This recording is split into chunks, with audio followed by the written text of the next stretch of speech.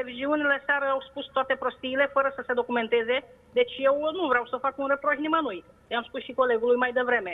Dar era uh, normal, eu am participat la 68 de târguri naționale de carte. Am 13 cărți publicate și am un istoric din 2009 până acum. Uh, am circulat cu această ambulanță din 2016 la zeci și zeci de evenimente. Doi ani, da? Deci anul trecut din uh, 3 mai până în, uh, la 1 decembrie, da?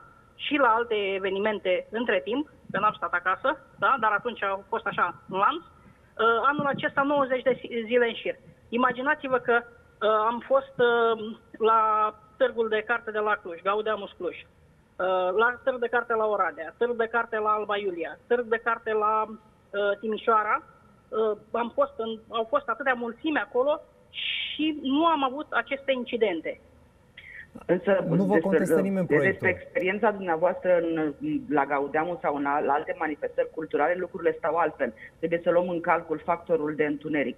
Dumneavoastră, sau ceea ce s-a întâmplat, am înțeles că a fost pe seară, la Da, dar o eu zonă dorm- în care deci eu dorm- infracționalitatea eu dorm, este destul de ridicată, Da. Gara de Nord fiind recunoscută ca o zonă cu un grad mare de infracționalitate și m, de asemenea cred că uh, specialiștii uh, pot să uh, creioneze, mai ales cei din poliție, concret lucrurile care se întâmplă în, în Gara de Nord. M, Eu nu pot și repet, nu pot să vă sfătuiesc pe dumneavoastră în niciun fel, pentru că m, nu am experiență și mi este foarte greu să, să înțeleg dintr-un material, din ce interviul dumneavoastră, felul în care v-ați desfășurat activitatea în ultimii ani. Întrebarea, do- doam- doamna Broilea, este dacă vă gândiți să luați măsuri suplimentare pentru a preîntâmpina astfel de evenimente. Exact cum spunea și doamna psiholog, v-ați dus într-o zonă cu o populație care a creat probleme, ca să zic așa. Nu este cea mai bună zonă a capitalei.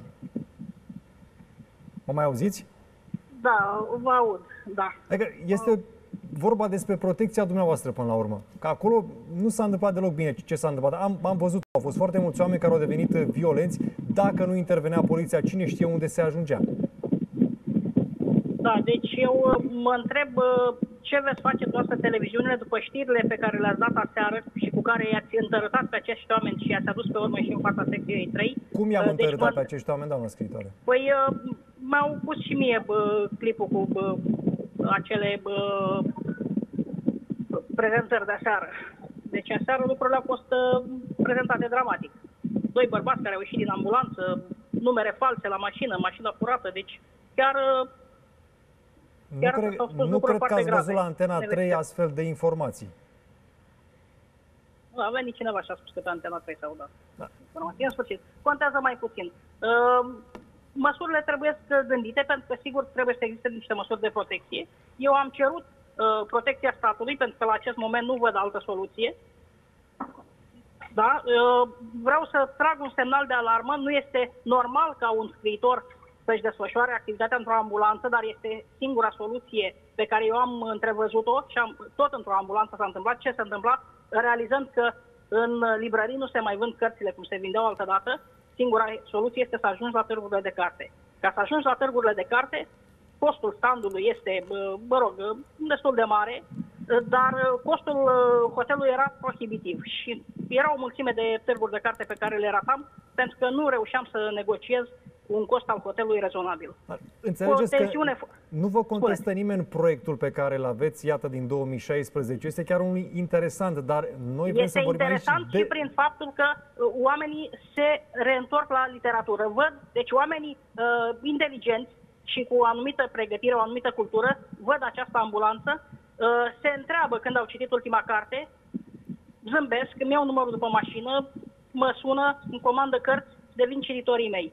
Sunt oameni care îmi spun, domnule, n-am mai citit din armată, n-am mai citit din uh, liceu, n-am mai citit uh, din facultate. M-am reapucat de citit cu cărțile noastre. Uh, Copiii se apucă de citit cu cărțile mele. Copiii iubesc uh, această carte, Copilul Dunării, uh, Haiducul Dunării, Fericirea la preț Am redus. înțeles. Deci eu am foarte mulți cititori copii. Am Ceea ce înțeles. fac eu este extraordinar de benefic pentru literatura română. Da? Să sperăm Uh, că nu se și vor ar mai trebui- întâmpla și ar evenimentele de trebui aseară. să pot să fac în continuare aceste lucruri, dar nu știu de unde voi primi sprijin, pentru că ceea ce se întâmplă acum este într-adevăr dramatic. Din păcate, nu mai avem timp, ne oprim aici.